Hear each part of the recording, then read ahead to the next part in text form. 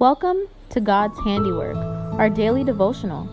Remember that you are God's handiwork, created in Jesus Christ to do God's work, which God prepared in advance for you to do. This is Minister Alice from Dallas, Texas.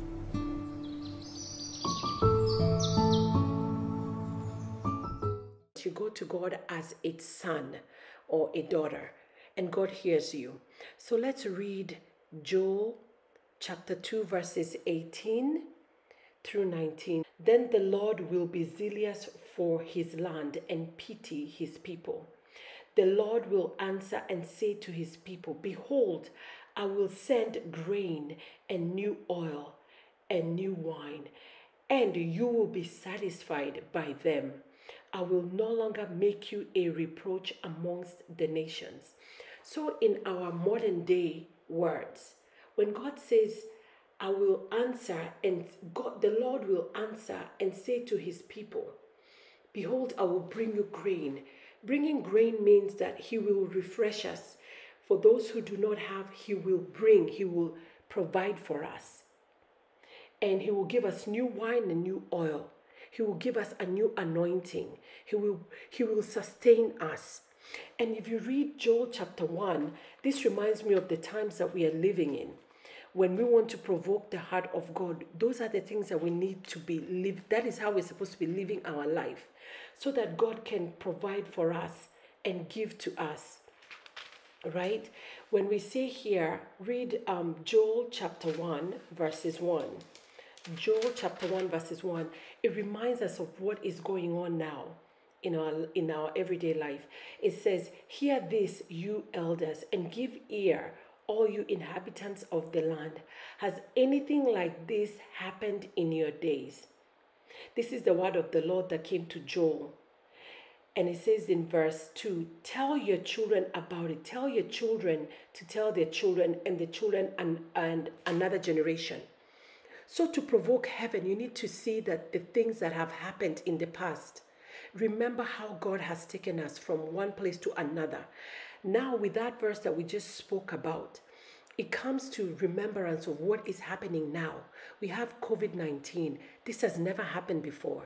The last time anything, a pandemic that happened was in what? Um, 1918.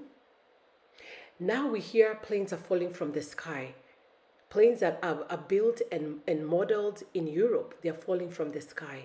We are hearing of all these volcanoes, wildfires, things that were never seen before. And that is where we see that things are changing in the world, and without God, we cannot move forward. We cannot live victoriously. That is why it is so important to know how to touch the heart of God, even during a catastrophe, that we are able to go to the throne of grace and we pray and God hears us. We need to work on our salvation with fear and trembling. We need to live a righteous life. So when we go to God, He hears us. The, the Bible says that we need to check our heart. So when we return to the Lord, when we go to plead to Him, He hears and He answers us. That is the God that we are serving. Let us remember to provoke heaven provoking God by being righteous, sanctifying ourselves, giving to the widows and the, and the orphans, giving to the house of the Lord, giving of ourselves, giving of our time. That is a sacrifice. Then we can put God in remembrance.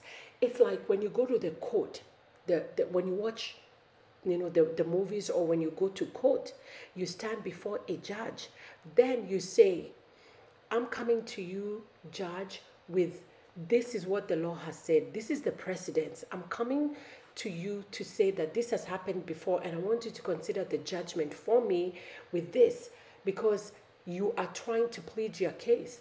It's the same thing as a believer and a follower of Jesus Christ, as a child of God. When you go to God, you want to remind God you that you are deserving of this favor. You are deserving of his mercy. You are deserving of his grace. But the only way you can provoke the heart of god is by making him the center of your life seeking him day and night following the principles of god because god is a god that is moved by his word and his principles